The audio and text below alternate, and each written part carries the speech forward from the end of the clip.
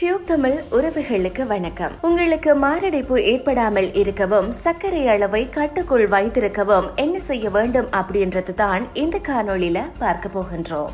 நீரிழிவு நோய் பெரும்பாலான மக்களை பாதித்துள்ளது. இன்றைய நாளில் முப்பத்தி ஐந்து வயதை கடந்த பெரும்பாலான மக்கள் சர்க்கரை நோயால் பாதிக்கப்பட்டுள்ளனர். இதனால் ஏற்படும் இறப்பு விகிதமும் அதிகரித்து வருகின்றது. நம் உடலில் சர்க்கரை அளவை கட்டுக்குள் வைத்திருப்பது அவசியமானது. நீரிழிவு என்பது கட்டுப்பாட்டை பெறுவது மற்றும் கவனித்துக் கொள்வது. நீங்கள் ஒரு நீரிழிவு நோயாளியாக இருந்தால் உங்கள் ஆரோக்கியத்தை கவனித்துக் கொள்வதும் இரத்த சர்க்கரையின் ஏற்ற இறக்கமான அளவை கட்டுப்படுத்துவதும் மிகவும் முக்கியமானதாகும். அதிக இரத்த சர்க்கரை அளவு அல்லது இரத்த சர்க்கரை அளவு குறைவாக இருந்தாலும் உங்கள் நிலையை பற்றி அறிந்திருப்பது நோயை சிறப்பாக நிர்வகிக்கவும் கட்டுப்படுத்தவும் உங்களை வழிநடத்தும் மற்றும் சிக்கல்களையும் தடுக்கலாம். down. குறிப்பாக கொரோனா காலங்களில் முக்கியம். அதற்காக ஆரோக்கியமாக இருக்கவும் இரத்த சர்க்கரை அளவை சிறப்பாக நிர்வகிக்கவும் உதவும் வழிகள் பற்றி பார்க்கலாம். நீரிழிவு நோயை பொறுத்தவரையில் முக்கியமானது உங்கள் உணவு. இரத்தத்தில் உள்ள சர்க்கரை அளவை கட்டுக்குள் வைத்திருக்க ஒரு சிறந்த உணவை உட்கொள்வது நல்லம். மற்றும் ஒவ்வொரு இரண்டரை முதல் மூன்று மணி நேரத்திற்கு மேலாக ஏதாவது சாப்பிட முயற்சிக்கவும். இது உங்கள் இரத்த குளுக்கோஸ் அளவை இலக்கு வரம்புக்குள் வைத்திருக்க உதவும். நூடுல்ஸ் வெள்ளையரிசி வெள்ளை ரொட்டி போன்ற சுத்திகரிக்கப்பட்ட தானிய பொருட்கள் இரத்தத்தில் சர்க்கரை அளவை உயர்த்துகின்றன. எனவே அவற்றை உங்கள் உணவில் சேர்ப்பதை தவிர்க்கவும். ஓட்ஸ் பிரவுன் ரைஸ் கோதுமை போன்ற குறைந்த கிளைசீமிக் இண்டெக்ஸ் உணவை நீங்கள் எடுத்துக்கொள்ளலாம். உடற்பயிற்சி இரத்த சர்க்கரை அளவை பராமரிக்க உதவுகின்றது. எனவே ஒவ்வொரு நாளும் உடற்பயிற்சி செய்வதன் மூலம் சில கலோரிகளை எரிக்க முயற்சிக்கவும். ஆனால் ஒர்க் அவுட்டுக்கு முன்னும் பின்னும் உங்கள் இரத்த சர்க்கரை அளவை எப்போதும் சரிபார்க்கவும். அவை மிக அதிகமாகவோ அல்லது குறைவாகவோ இருந்தால் அந்த நாளில் வேலை செய்வதிலிருந்து உங்களுக்கு ஒரு இடைவெளியை கொடுங்கள்.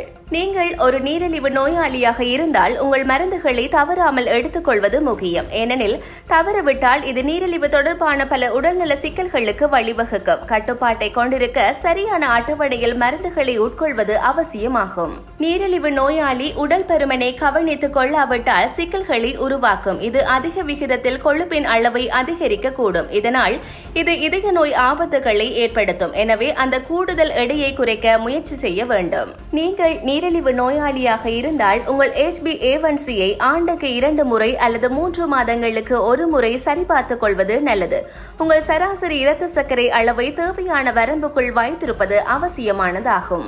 நிறைவூற்ற மற்றும் டிரான்ஸ் கொழுப்புகள் அதிகமுள்ள உணவை தவிர்க்க அறிவுறுத்தப்படுகின்றது. ஏனெனில் இது நீரிழிவு நோய்க்கு எல்டிஎல் கொழுப்பை உயர்த்துவதனால் ஆகும். இறுதியாக நீரிழிவு நோயாளிகள் சில விடயங்களை சேர்ப்பது எப்பொழுதுமே பலனளிக்கும். விட்டமின்கள் மற்றும் ஆக்சிஜனேட்டிகள் சிக்கலான கார்போஹைட்ரேட்டுகள் போன்ற உணவுகளை உட்கொள்வது இரத்த குளுக்கோஸ் மற்றும் எடையை கட்டுக்குள் வைத்திருக்க உதவுகின்றது.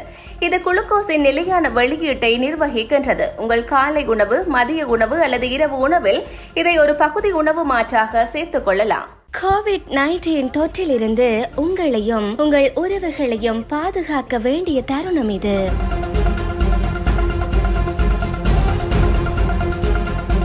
கொரோனாவின் கோரப்பிடியில் இருந்து நம்மையும் நம்மை சார்ந்திருப்பவர்களையும் பாதுகாப்பதற்கான சில நடவடிக்கைகளை நாம் நிச்சயம் பின்பற்ற வேண்டும்.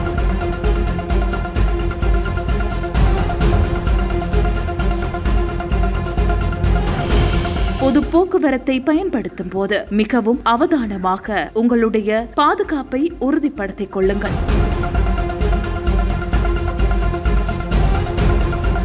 நாம் பாதுகாப்பாக இருந்தால் இந்த நாடு மிக விரைவில் இந்த உலகமும் கொரோனாவின் கோரப்பிடியில் இருந்து மீளும்.